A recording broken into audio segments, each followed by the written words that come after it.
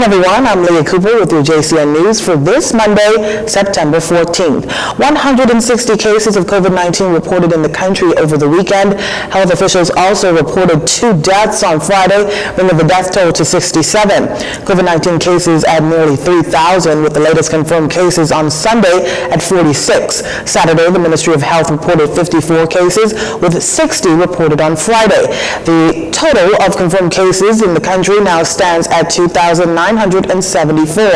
Of those cases, 213 cases are confirmed in New Providence, 597 in Grand Bahama, 100 in Abaco, 54 in Bimini, 24 in Exuma, 17 in Inagua, 15 in the Berry Islands, 12 in Eleuthera, 8 in Cat Island and Long Island, 7 in Acklins, 5 in Crooked Island, and 3 confirmed cases in Andros and Mayaguana.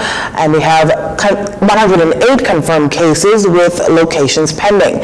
Meantime, health officials also confirmed the unfortunate death of two persons on Friday. The Ministry of Health reported the deaths of a 30-year-old female who died that day and a 58-year-old female who died on September, both women of New Providence. Deaths under investigation now stand at 10. Education Minister Jeffrey Lloyd sends out encouraging words via audio press release to the students taking part in national exams today.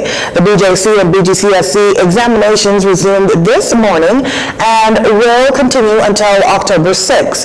Mr. Lloyd gave these uplifting words to students as they face not only the ongoing COVID-19 pandemic, but the challenge of their exams. I am proud of you making this wise decision to take your exams because I know there are voices out there who may have tried to discourage you. And I'm glad you are ignoring them because you're doing what is best for you. I've also come to tell you to take these exams seriously. They represent a significant milestone in your lives. You have studied for them, you've prepared for them, you've worked hard, and now you have the chance to prove that all that effort was well worth it. The education minister contends that students cannot afford to regret not taking their exams during this time, mentioning that he knows adults who regret not taking their exams seriously when they were younger. And I'm telling you, these credentials that you are about to achieve, no one can take them from you. These are yours, whether you go to college or not.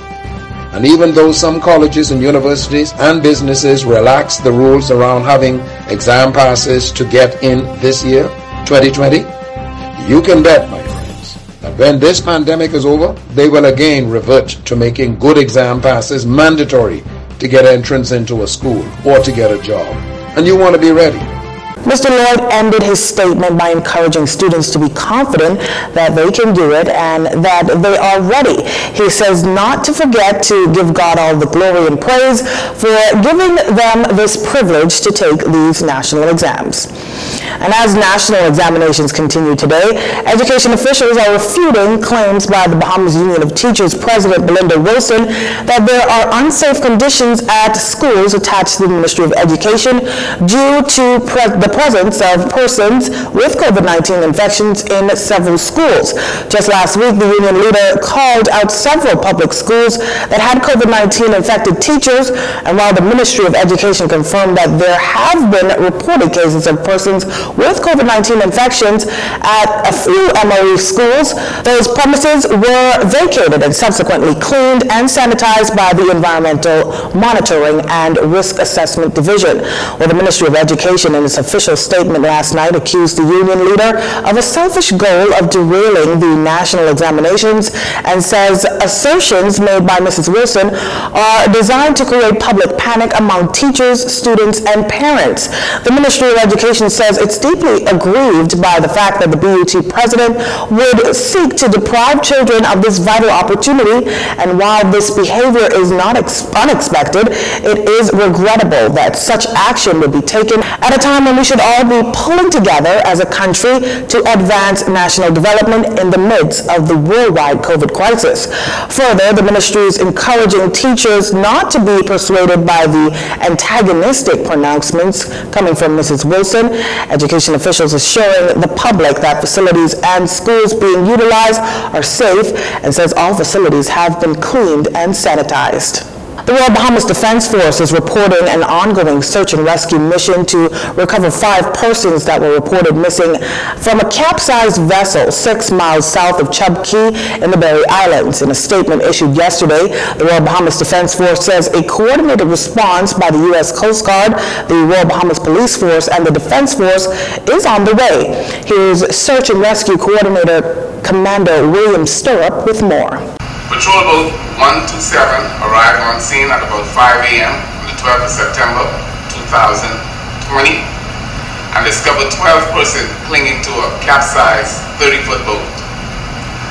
These individuals were retrieved from the water and transported to Coral Harbor Base, where they were turned over to health officials and the Royal Bahamas Police Force. Currently, there's an ongoing search and rescue for the remaining persons uh, the Royal Bahamas Defense Force, the Royal Bahamas Police Force, and the Coast Guard are conducting search throughout the day and will continue throughout the night. He says the public will be updated as more information comes in. He also gives this advice to the public. Members of the public are advised to pay attention to the emergency orders as it relates to movement of people throughout the islands, to weather warnings issued by the Met Department, and the smuggling and trafficking of persons to the Royal Bahamas Defense Force Operations Department.